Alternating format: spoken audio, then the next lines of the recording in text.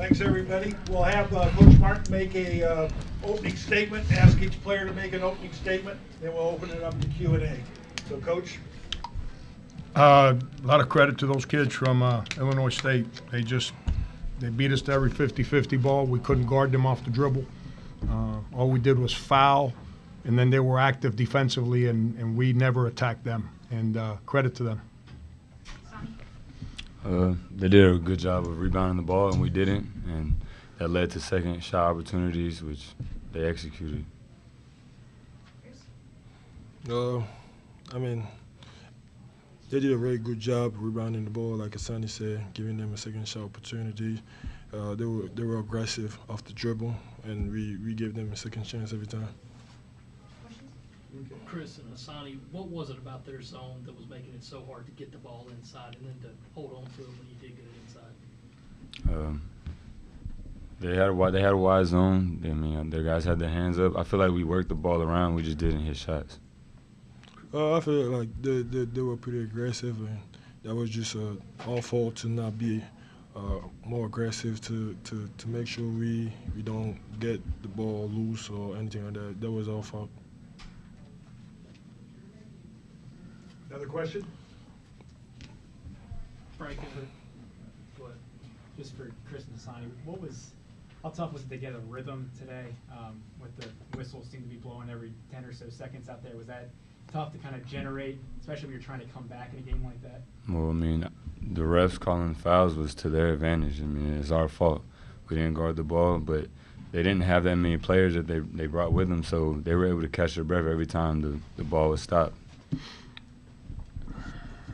Um, I feel like um, we we we playing in a neutral site, so uh, the energy gotta come from the guys that that, that already been through it, like uh, me, Hassani, and uh, the leaders. Uh, we didn't do a really good job, you know, setting an example and coming, being focused, playing hard, and be on top of a game uh, uh, from the jump ball. Hassani, uh, was there anything about the venue, sight lines, uh, that just didn't look right? Is, was there, uh, something that kept you guys from hitting that many shots based on the venue? No, that's not an excuse. We just didn't hit shots. Coach, what are the challenges of preparing for an 11:30 game compared to you know prime time, seven o'clock or nine o'clock? The same as they were for Illinois State. It's, it's, you know, the game's scheduled. You know what time it's at. It's your responsibility to get yourself ready to play at that time. That's why we practiced early yesterday, so we can get ourselves accustomed to being ready to go at that same time today. We weren't ready to go. Our, our, our you know, they came at us, and our defense was bad. And when you're in a half-court game, uh, and your defense is bad, that's not good. Coach, what did you think of the way you guys attacked their zone, particularly in the first half? never got inside the zone. And when we threw it to five feet, our bigs couldn't score. You know, we, we got the ball in there and our bigs couldn't score. And our guards never, never drove the zone. They just kept passing it around the zone. That's to their advantage. Um, and you can only run so many plays against the zone. There's no such thing as running plays against the zone. We ran the plays that we got against the zone, we ran and we got shots when we ran them. But for the most part, the zone will morph to the play. So to attack a zone, it's not running a play, it's attacking the zone. And you got to get inside the zone. We never, never played off the dribble to get it inside the zone. And they, I don't care if you're a man defensive team, a zone defensive team, a pack line, a deny, I, I don't care what you do defensively. The object of the game is get the ball between two defenders on offense. On defense, the object of the game is don't let the ball get between two defenders. We never got it between two defenders. They got it between two defenders every time they wanted to. They won. Frank, when, when Chris and, and Maik and Hassani had to take a seat and the young guys had to come in, what did you see from them playing as a group? Uh, Did you see some things to build on? The same thing you saw against Virginia Tech. A bunch of young guys. That's why I threw them and play them the whole game, regardless of the score of that game.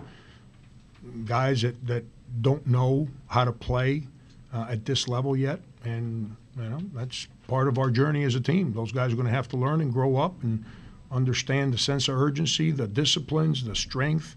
Uh, but it starts with them. they didn't do a very good job for us early in the game. That's why they were on the bench with foul trouble. Coach, are you eager to get back out on the court again tomorrow? It's not like you guys have to wait a couple days. You get to get back out and kind of refresh things and get going again tomorrow. Does that excite you as a coach? Uh, If you're going to pout, there's no place for you in sports. I mean, uh, it's uh, uh, whether you win or lose, you better be ready to go the next day. It's all about going through the journey and and and learning how to do your job every single day, how to being prepared every single day. Uh, when they put this tournament together and we knew we were in it, we knew we were going to play on Thursday and Friday. It's not a surprise that we got to play tomorrow. We mentally we better be ready to go tomorrow. We'll take another loss. Real simple. Sonny, Chris, how do you guys prevent that? How do you guys talk to the younger guys to make sure they're up and mentally ready for a ten thirty game? We gotta make sure guys get you know their rest and play early again. I mean, I seen a couple guys, you know, with their eyes closed, sleeping on the bus on the way here. I'm not gonna let that happen again. Any more questions?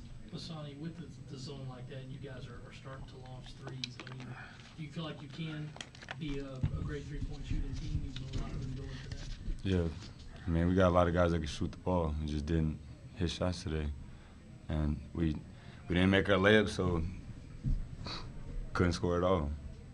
Frank, despite all the offensive struggles and defensively, you're still within one with three minutes left. What are you feeling then, and do you feel like this team, is that kind of the next step, is, is finishing the opponent off like that? Just two, we had two real bad, bad defensive plays once we got it to even. Uh, Maik Kotsar gets a defensive rebound, and I don't know what he's thinking about. He decides to just kind of let me get rid of it because I don't want to get hit. So they steal it, they score. And now we've got a three point game, and Felipe decides to just push a guy off the ball and give him two free throws. Uh, so it, all we did was foul. When, when, when your jump shot's not going in, you still have to figure out a way to win. And you win by defending and rebounding and making free throws. And we didn't do, we didn't make jump shots, we didn't defend, and we didn't rebound today. When you shoot 29% from the field and your, your, your guys that played at the four and the five combined grab five offensive rebounds, that's not very good. That's not very good. So. Frank, uh, Chris only had like, had one shot from the floor. Was that more the result of their, of their defense, or what you're talking about, the guards not getting the ball where it needed to be? He had plenty of opportunities, Phil. He couldn't convert the shots, but they fouled him. So he, when you shoot free throws, those are shot attempts that don't go down as shot attempts. He was actually 0 for whatever from the field, but he couldn't convert the shot. But he made 10 out of his 14 free throws. Coach, you had 32 attempts at three. Is that too many in your mind to throw up threes at, uh, at this juncture in the season? I, I, I don't think it's too many. The problem is not the number of threes we shot. The fact is that we didn't get inside the zone. Our guards, we work on it. We call it zone concepts in our practice. And our guards work at trying to get the ball between two defenders to play off the dribble against a zone. That's how you attack a zone. You don't attack a zone by passing it around. Everyone thinks you pass it around, that's how you beat zones. That's what the zone wants you to do. You got to move the zone and get inside the zone our guards would not get inside the zone off the dribble today. All they did was pass it around, pass. And the two or three times that we did get inside the zone, our guys tried to take on the rim for layups. They're in a zone to protect the rim. They're not in the zone to give you the rim. So we, we got to get better at that. We, we, we were very bad today at driving the zone. Very bad. But give them credit. I tried to ball screen the zone, and we still couldn't get inside the zone. Uh, give them credit. They were tougher than us. They kept us out of the paint. We couldn't get in the paint. And then on the other side of the floor, they got it in the paint, and we couldn't keep them out of the paint. It's pretty simple formula. That's why they won. Last question, guys. Okay, thank you, Coach. Thanks, Coach.